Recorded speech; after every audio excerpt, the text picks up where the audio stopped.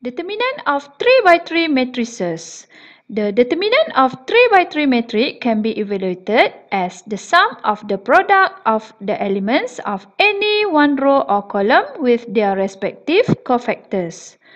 So, determinant of 3 by 3 matrix can be found by using the expansion of the cofactor. Okay, so determinant A is equals to summation of element i row j column times with its cofactor where i is row 1, row 2 until row n and j is column 1, column 2 until column n.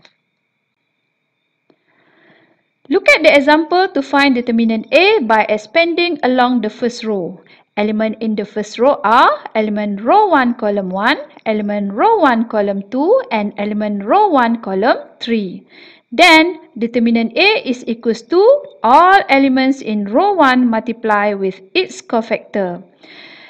The same thing applied when expanding along the first column.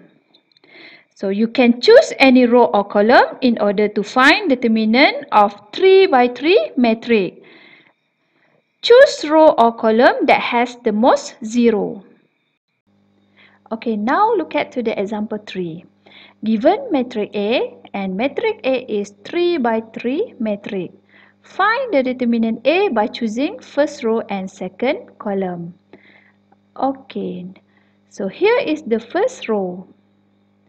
So to find determinant A by choosing first row, use the cofactor expansion of all element in row 1.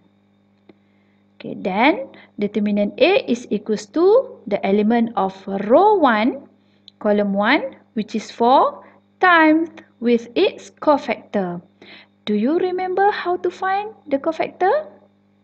Okay, negative 1 to the power row 1 plus column 1. Then delete its row and column. Then write the resulting determinant. Okay, for the second element of row 1 column 2, So we have element 10 times its cofactor, negative 1 to the power row 1 plus column 2. Then delete its row and column. So write the determinant. And then the last element of row 1 which is element row 1 column 3. So the element is negative 2 times its cofactor negative 1 to the power row 1 plus column 3 then delete its row and column. So write the the, uh, the determinant and then simplify the cofactor expansion. So we have 4 uh, then by using AD minus BC we have negative 9 minus 15 plus negative 10 and then times with 24 minus 30 then plus negative 2 times negative 24 minus 18 and the answer for determinant A is 48. Next, find determinant A by choosing second column. So here is the second column. Then use the cofactor expansion along the column. Then determinant A is equals to the element in row 1 column 2 which is 10 times with its cofactor. So negative 1 to the power row 1 plus column 2 and delete its row and column. So write the resulting determinant plus the second element of second column plus negative 3 times its cofactor negative 1 to the power row 2 plus column 2 delete its row and column then write the resulting determinant. And plus the last element of second column which is element row 3 column 2 So, negative 3 times its cofactor, negative 1 to the power row 3 plus column 2, Then delete its row and column. Then write the resulting determinant. Simplify the expansion of the cofactor. So negative 10 times AD minus BC. Then we have 24 minus 30 and plus negative 3 times 12 minus 12 then plus 3 times negative 24 minus negative 16. So determinant A is equals to 48. Therefore, we will get the same value of determinant A if we choose any row or column. Look at example 4. Find the determinant of A and A is 3 by 3 matrix. Tips. Choose row or column that has the most zero. Uh, look at the element of matrix A. Uh, first row and third column has the element of 0. So you can choose either one in order to get the determinant A. Now I want to choose first row to find determinant A. So use the cofactor expansion along the first row. Then determinant A is equals to the first element of row 1 column 1 which is 2 times its cofactor negative 1 to the power row 1 plus column 1 and then delete its row and column. So write the resulting determinant Okay, then go through to the second element of row 1 column 2 which is negative 2. Then uh, time is cofactor negative 1 to the power row 1 plus column 2. Delete its row and column. Then again write its determinant. And the last element of row 1 which is 0. So uh, for the last element, we, we don't have to write its cofactor because the expansion will be 0. Okay, then simplify. So we have 2 times negative 1 plus 12 that we get from AD minus BC. Then plus 2 times 3 minus negative 6 and the answer for determinant A is 40.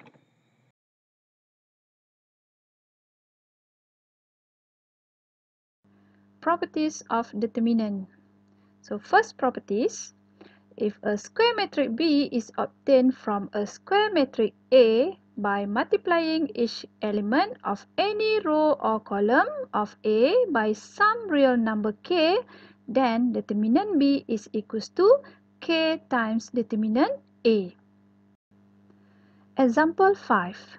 Given determinant A equals to 5, hence find determinant B, C and D by using the determinant properties. First, find determinant B. Write matrix B in determinant form.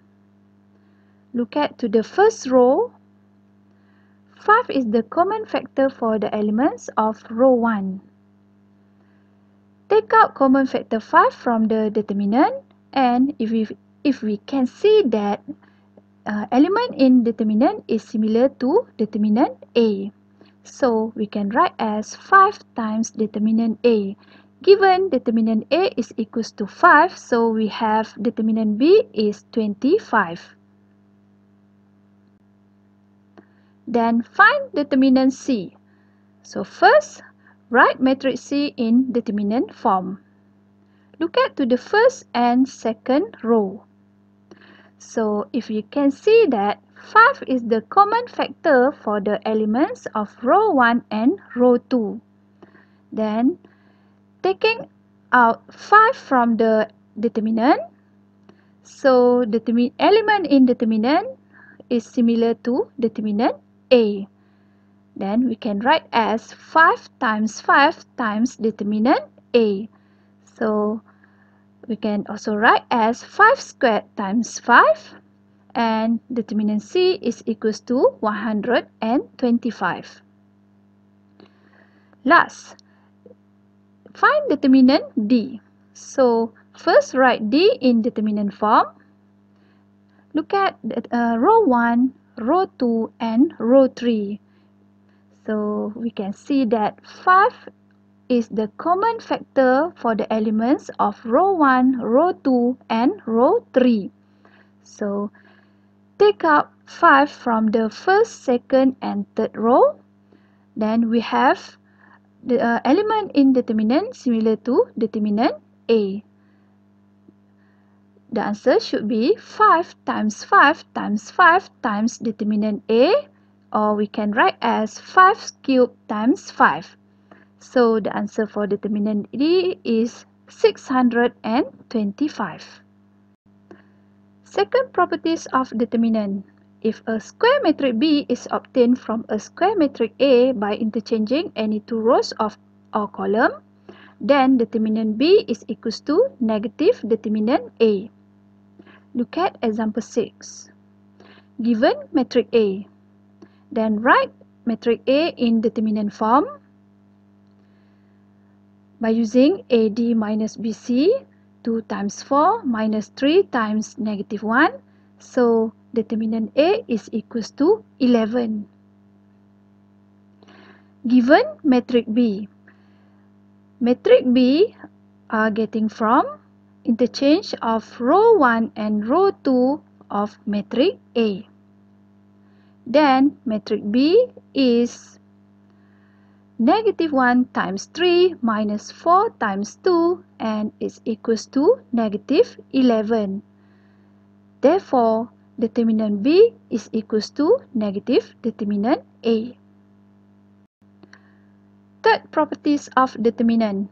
If A is a square matrix, then determinant A is equals to determinant A transpose. Look at example 7 given matrix A and determinant A is equals to 11. So first find A transpose. Element in first row of matrix A are transposed to be element uh, in first column of A transpose. And element in second row of matrix A are transposed to be element uh, in second column of A transpose. Then find determinant A transpose. So we have 2 times 4 minus negative 1 times 3. Then determinant A transpose is equals to 11. If we can see that determinant A is equals 11 and determinant A transpose also equals to 11. Therefore, determinant A is equals to determinant A transpose. Fourth properties of determinant. If A and B are square matrices, then determinant AB equals to determinant A times determinant B. Look at example 8. Given matrix A and matrix B, the determinant A and determinant B are 11 and negative 14 respectively. In order to show this property, find matrix AB by multiplying both matrix. And here is the matrix AB. Then find determinant AB. Write in determinant form by using AD minus BC So 11 times negative 12 minus 2 times 11. Then we get the answer is negative 154. From the questions, given the determinant A and B are 11 and negative 14 respectively, so determinant A times determinant B is equals to 11 times negative 14. The answer for determinant A times determinant B is negative 154. That means determinant AB is equals to determinant A times determinant B.